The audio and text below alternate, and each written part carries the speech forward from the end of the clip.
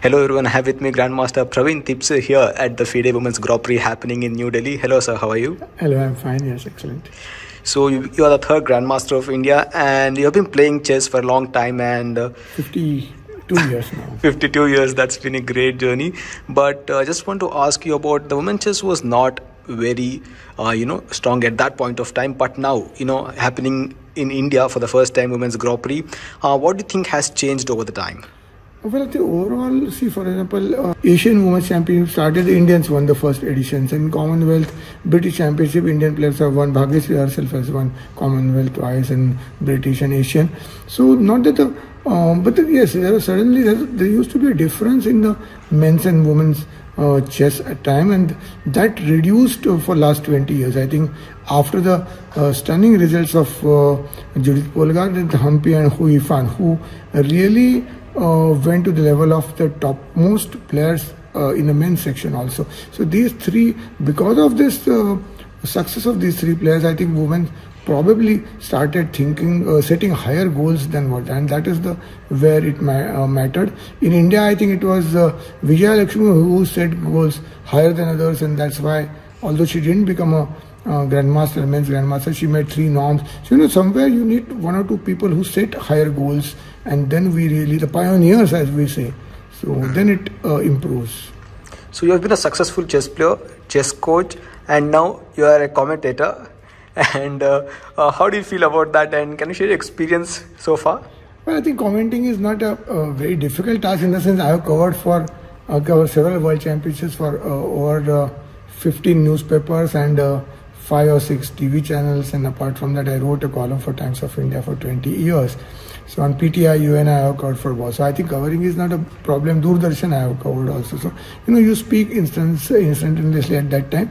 But yeah, the different in the sense here you have to speak for about four to five hours, where there's only 10, 15 minutes, 45 minutes at the most interview. So a bit tough. And uh, the game is a, obviously the slow game. We have to take into account that football or uh, such games don't need commentary. In lawn tennis or football don't need any commentary. You just watch the game.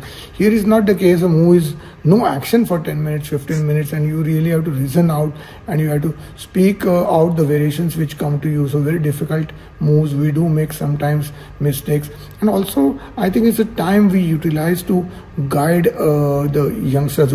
Our main idea is to get to non-chess players because non the chess players are anyway going to get the moves and see them if not now, but uh, those who come online, I think they should we should create a sustained interest among them so that they play more officially. And it's very interesting to do that. A good experience, but uh, tough in the sense the games are slow and. Uh, uh, in the World Championship, it would be even worse because only one game. So you don't really have to.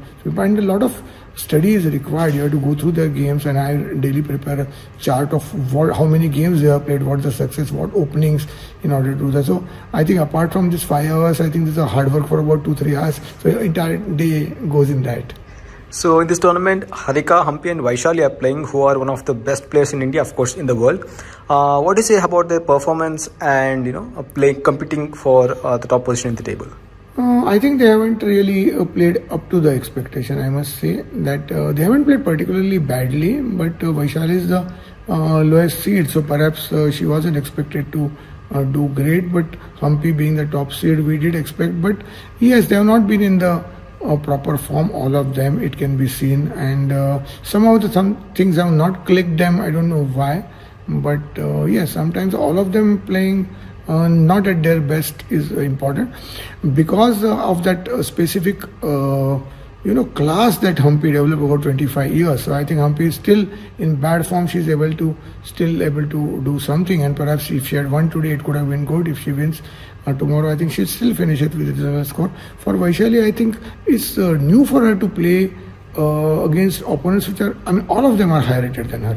I don't think she has ever played a tournament where she was lowest seed, and it's not a very encouraging experience because you know you yourself uh, subconsciously treat yourself as a uh, underdog somewhere because uh, so, so it's not, it's a tough uh, tournament when you are the lowest rated player.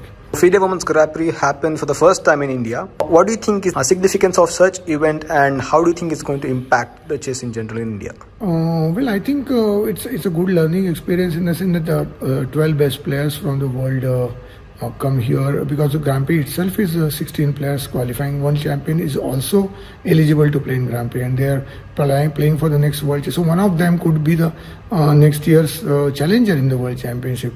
So it's uh, the greatest players have come. Perhaps I think uh, the media has not taken as much cognizance as it should have taken. And that's one of the things I think perhaps we could have made better use of this like having some women's tournament side by side somewhere or some uh, commentary outside where only women players would be allowed and the top women players could be called also to watch top players from Delhi. Something which required a much uh, better better effect uh, effort could have been done. Again, probably there must have been some restraints because not much time was given and probably budgets are limited. But yes, if in future if you are going to do it after one say one year, then we could uh, organize some simultaneous things there, and it could be uh, at the at the thing stand. We are not really uh, had impact in the Indian community of this tournament, which is I think some somewhere because there's a problem with exclusive tournaments that it doesn't go to masses because masses cannot play. If you like a Delhi Open with 1,200 players, there could be uh, one lakh players or two lakh players watching that, which may not be happening here. So World Championship is going to start from five days from now. And uh, could you tell us your predictions and thought about that event as well? Well, I never looked at it as World Championship. Actually, after uh, Magnus decided not to play, you know, it's not very.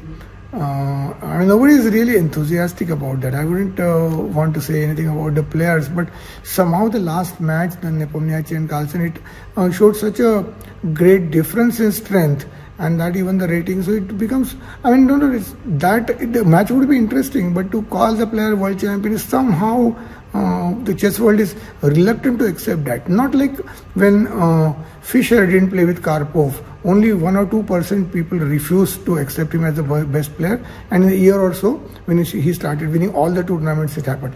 Here, I'm sure that whoever becomes world champion, he's not going to be considered much better, head and shoulders above the others. So it's also a match which will. Uh, uh, be different. But I think both the players have their own uh, uh, advantages. And at the moment it's not uh, nobody is uh, sort of fancied. If Carlsen was playing one would say that Carlsen is likely to win. Now it's not very clear I think. Yeah so hoping for the best. And thank you so much for your time and uh, all the best. Yeah thank you so much